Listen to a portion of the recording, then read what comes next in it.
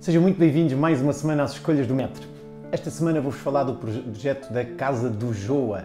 Uh, eu fiquei interessadíssimo por este projeto porque, além de já ter ouvido falar isto dos meus grandes amigos Pedro e João Sommeliers uh, do Varanda de Lisboa, uh, no meu novo emprego no Feitoria, o meu head sommelier Pedro Ramos, conhecido nas redes sociais como Pedrones, um, acabou por me falar mais a fundo deste projeto e eu fiquei ainda mais apaixonado por este projeto da Casa do Joa. Ora bem, é na aldeia de Parada, a 20 km de Bragança, na região vínica de Trás-os-Montes, que está situada aqui a Casa do Joa, uh, e, e, o que vos venho falar aqui hoje é de um, um, produto, de uma parceria que esta casa tem com a TFS, que desenvolveu um produto que se chama Chest Wine à, à base da flor de castanheira e que visa substituir os sulfitos, ou seja, tem propriedades uh, estabilizadoras, tem propriedades antioxidantes e também de controle de micróbios. Portanto, vai, vem, vem fazer um bocadinho a função de, de, de substituir por, por completo ou, ou, parcialmente a adição de sulfitos nos vinhos, quem sabe ser uma opção mais saudável, porque é um produto totalmente natural,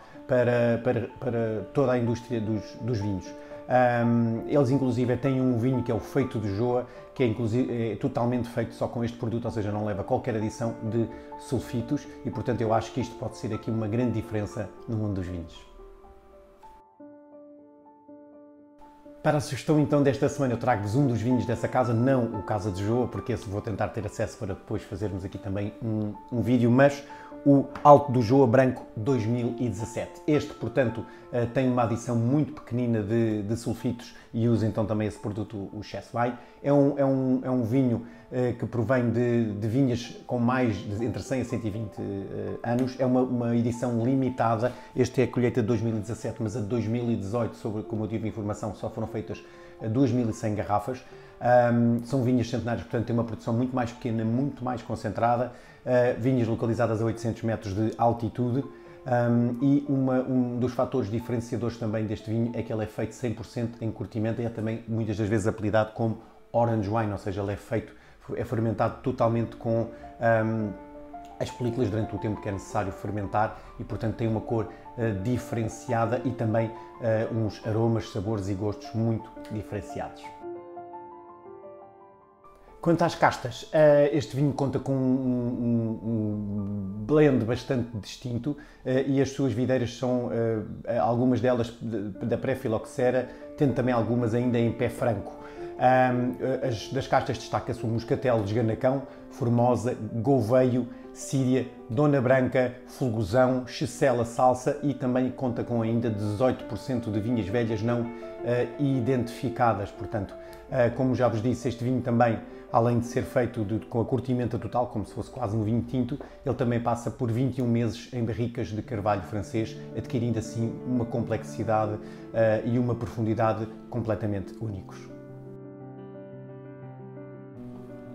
Com uma, com uma cor uh, de ouro velho até um pouquinho âmbar, este vinho é muito conhecido como sendo o Orange Wine, por ser feito também no, Natal 100% curtimenta. Um, este, este, vinho uh, tem aqui uma grande profundidade de aromas e sabores, fazendo lembrar quase aqui os, os fortificados. Uh, tem aromas como marmelo, pera, maçãs, castanhas, nozes, alguma tipo compota de castanha. Tem também aromas e sabores de resina, madeira, especiado. É um prato que acompanha muito bem pratos vegetarianos, nós usamos muitas vezes nos pairings de vegetariano.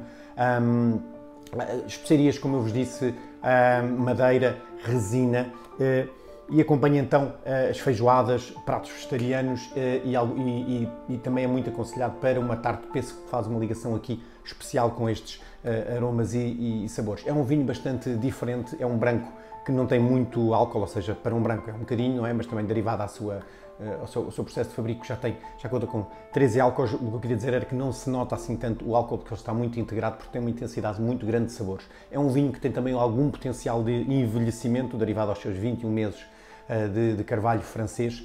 Um, e, e, portanto é uma excelente opção, é um vinho diferente, é um branco completamente fora uh, da caixa, tem aqui uma, uma, uma garrafinha muito também diferenciada, uma apresentação visual espetacular e então é a minha apresentação para esta semana. Eu fiquei apaixonado por este projeto. Quando eu for lá para cima ao norte, de certeza que vou tentar passar aqui uma, uma visita à Casa do João, onde eles têm também umas propostas de enoturismo e de visitas à adega também fantásticas uh, e aconselhava-vos a irem ver o site deles que é Casa do Joa e, e vão ficar encantados com este projeto como eu fiquei.